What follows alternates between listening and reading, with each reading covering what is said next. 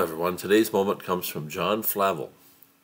The longer you know Christ and the nearer you come to Him, still the more you see His glory. Thank you, and may God bless your day.